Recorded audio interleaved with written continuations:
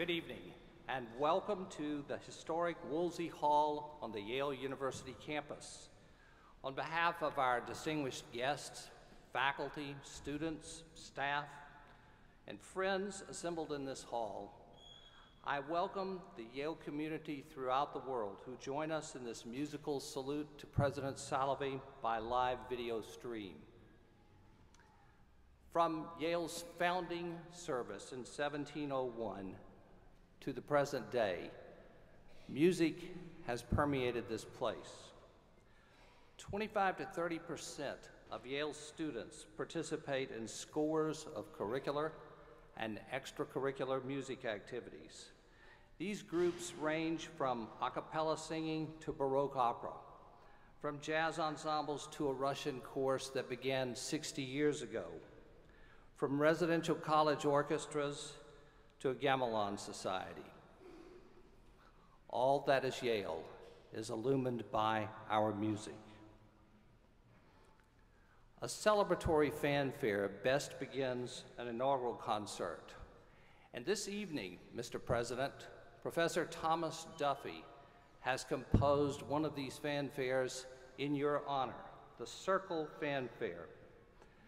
Thoughtfully conceived and crafted by this composer, the fanfare also asked our university organist, Thomas Murray, to respond to the ensembles located around the hall. Perhaps there's some inherent symbolism in this for you, Mr. President. Careful study, careful planning will always require some confident improvisation from you. Ladies and gentlemen, join me in welcoming Professor Thomas Duffy, composer, conductor, and distinguished university citizen.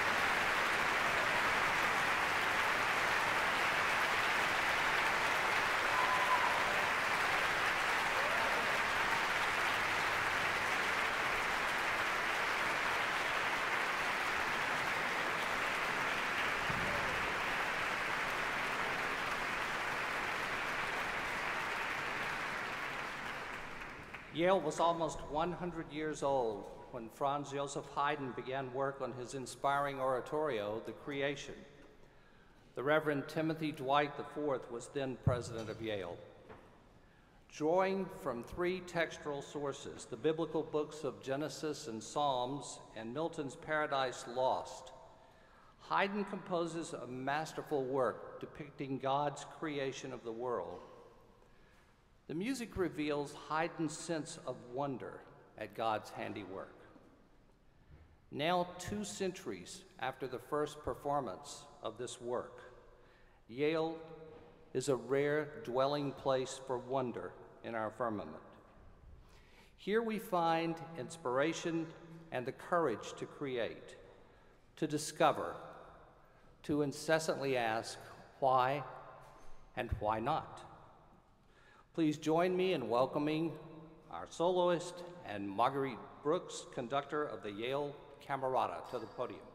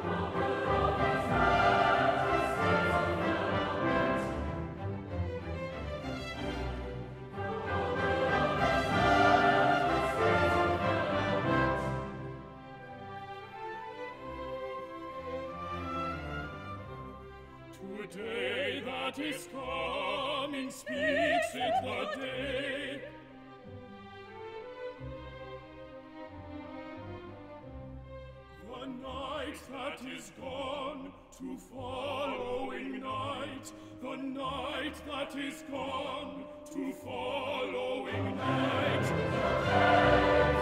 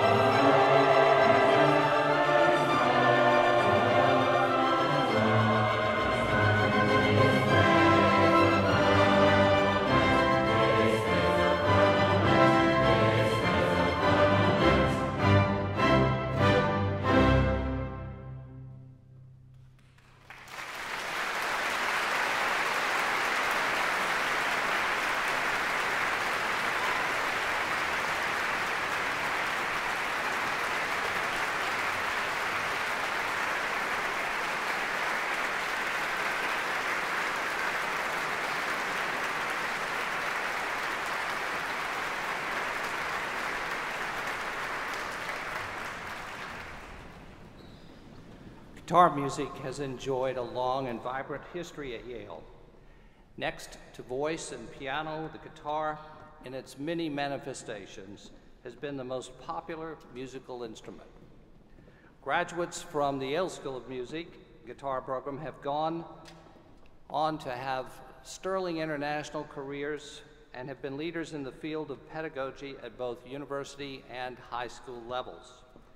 The group tonight consists of current students and graduates hailing from Australia, Uruguay, Germany, Canada, Armenia, and the United States. The two selections we are about to hear tonight reflect the versatility and adaptability of the instrument. Whether Europe during the Baroque or the Brazil of today, the guitar expresses a voice and a culture that is personal, even intimate.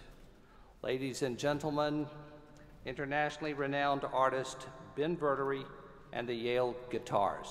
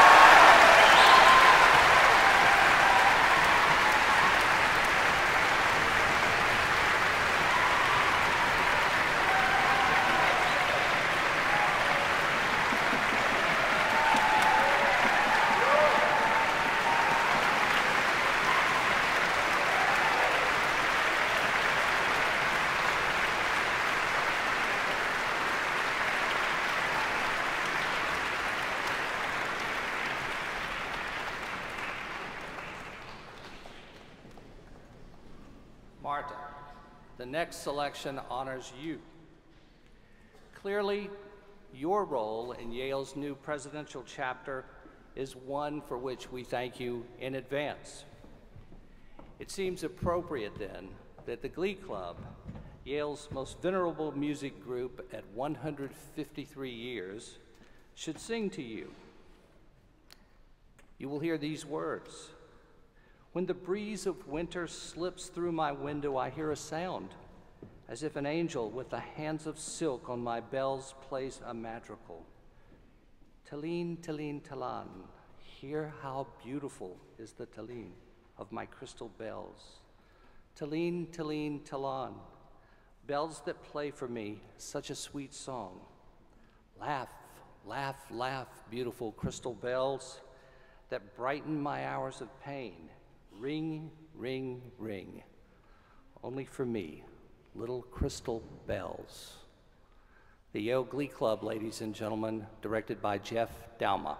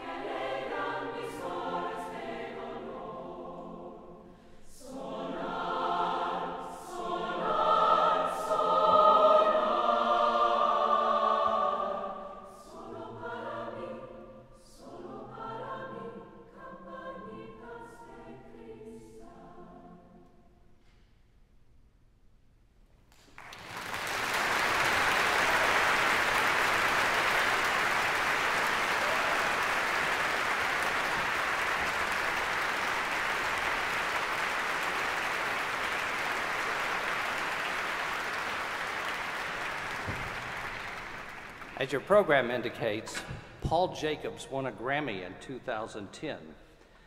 But you will also be interested to know that he won the very first Grammy ever awarded in classical organ performance.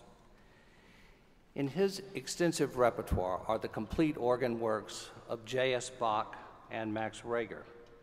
Yes, Paul Jacobs is a prodigious talent. And tonight, he performs the music of another prodigy, Mozart.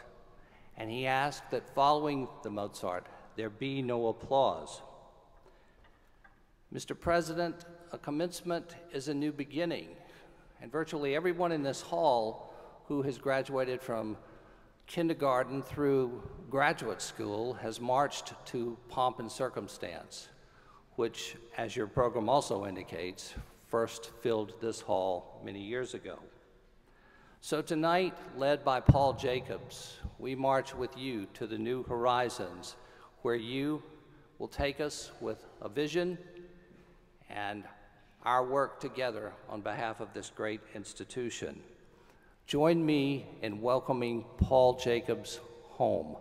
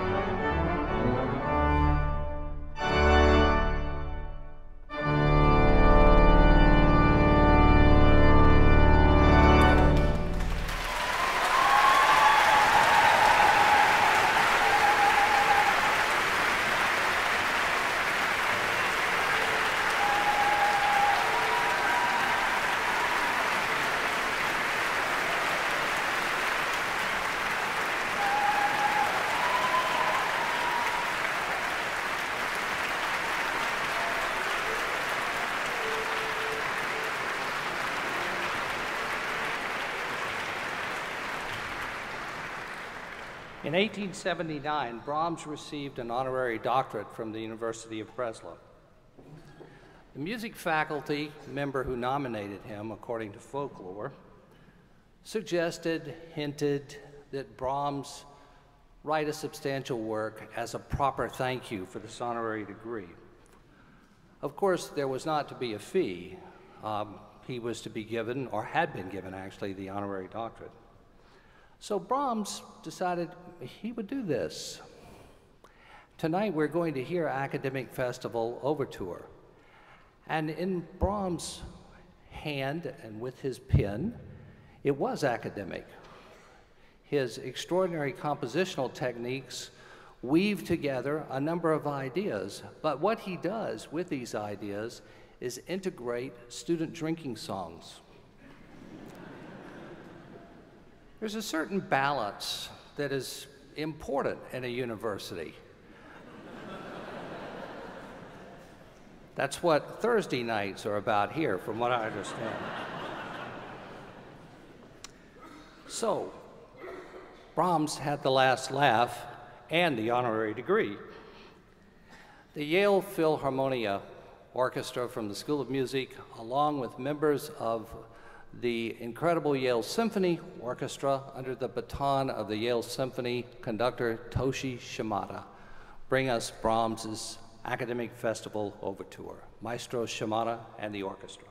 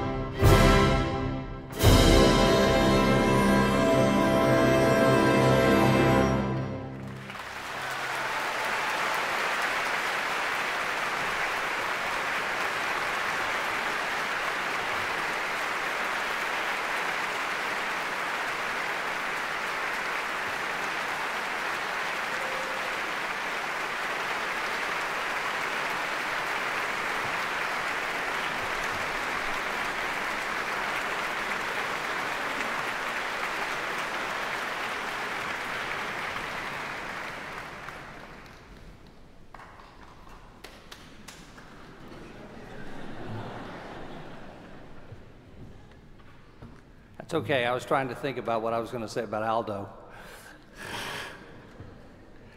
The Yale Cellos have thrilled audiences all over the world. Among their alumni, just to name a few, principal cellist in the New York Phil and the newest cellist in the New York Phil, college president, Ronald Crutcher, the distinguished concert artist, Wan Jin, and just scores of cellists who hold university professorships and orchestra positions on several continents throughout the world. Aldo Parisot is the Sanford Professor of Cello. Following a long and brilliant career as a cellist who played in every major, major capital of the world under the leading conductors of that time, he turned to teaching where for the last several decades he has become known as one of a very few teachers, the most elite in his profession. 1958 was a very magical year in Yale history. In 1958, Aldo Parisot joined the Yale faculty. He is the longest serving member of Yale's faculties. In 1958, Peter Salovey was born.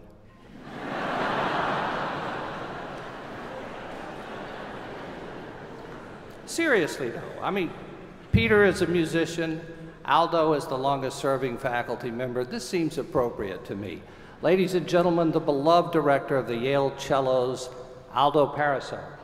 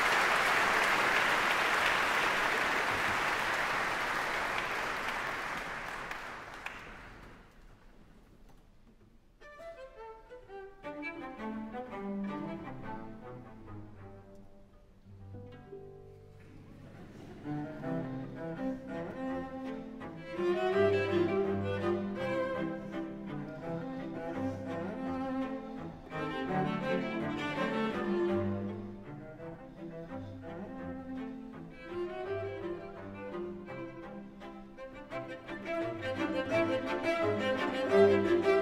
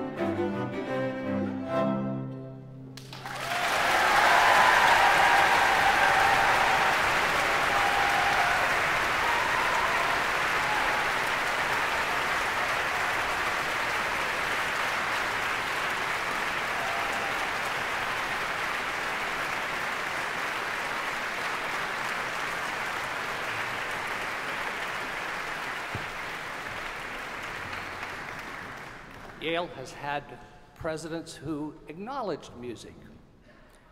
Yale has had presidents who supported music. Yale has had presidents who appreciated music. Yale has had at least one president that I know who has understood and loved music. Now Yale has a president who performs music. What is happening to us? Somewhere,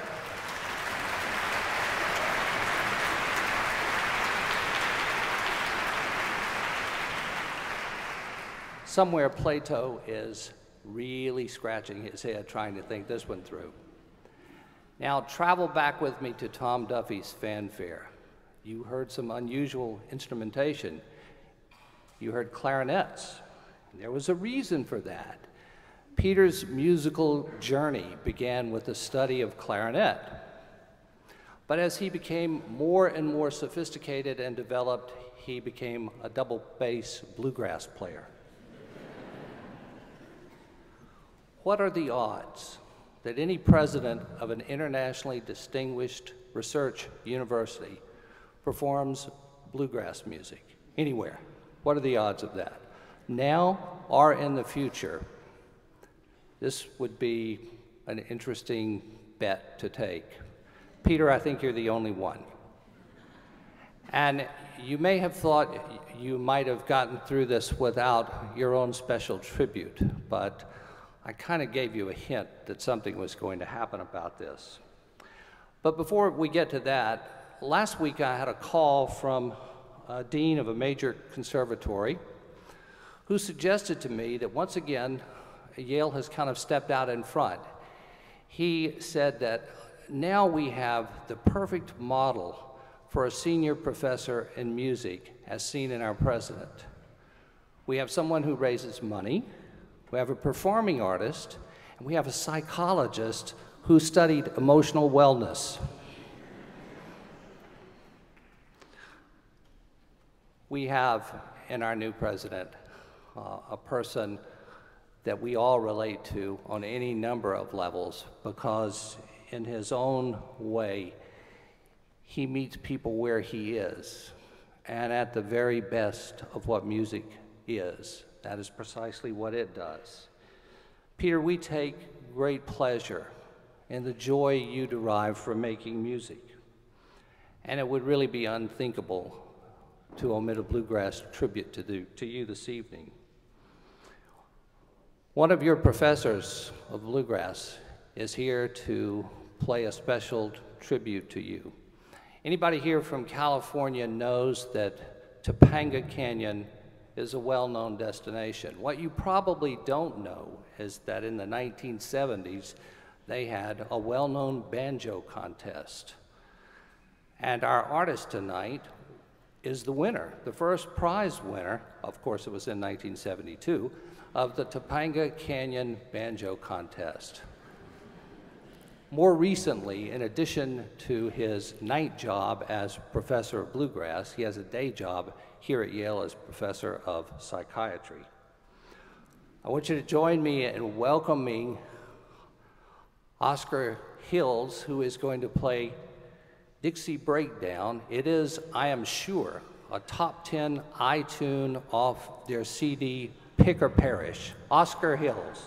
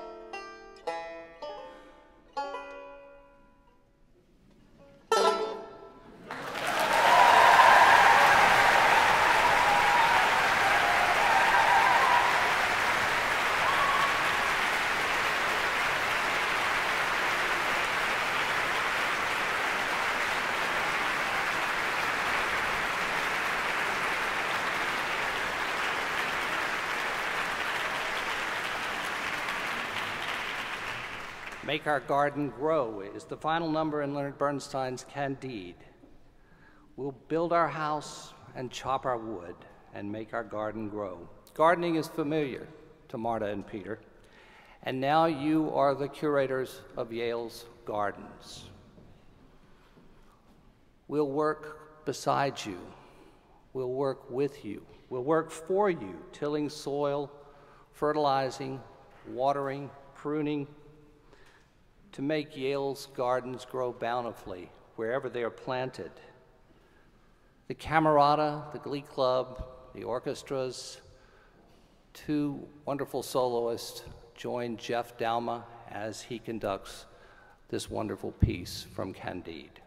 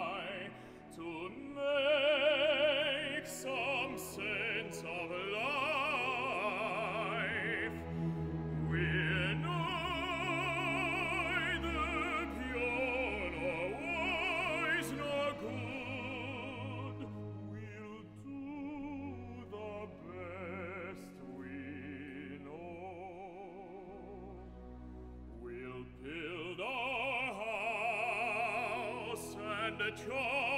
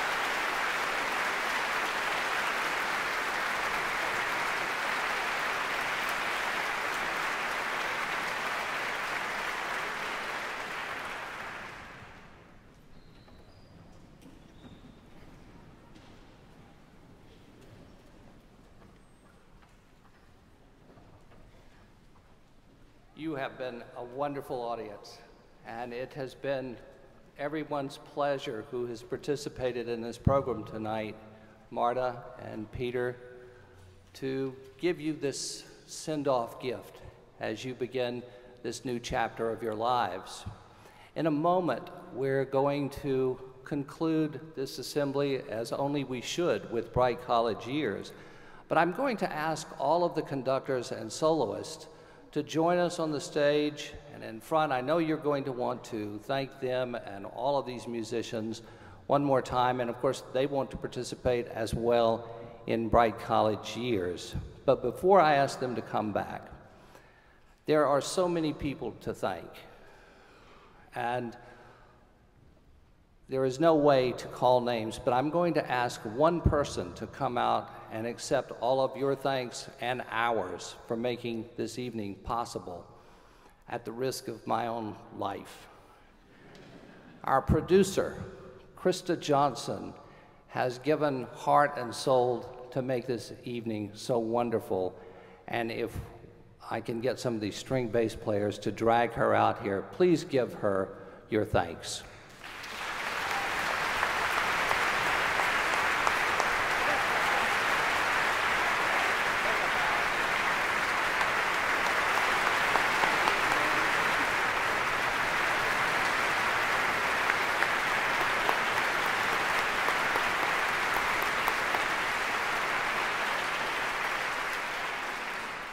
And now, our soloists, our conductors, our other performers, and these wonderful musicians with us, but we invite our soloists and conductors back to the stage for Bright College Years.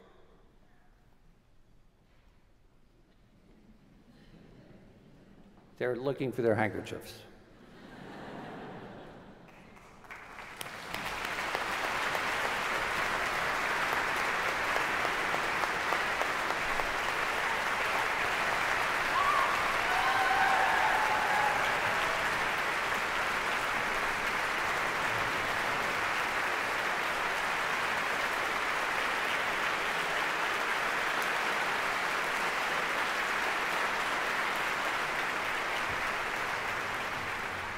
The arrangement of Bright College Years, Mr. President, was especially done in your honor tonight by Colin Britt. It's a new arrangement of Bright College Years for orchestra, organ, and chorus.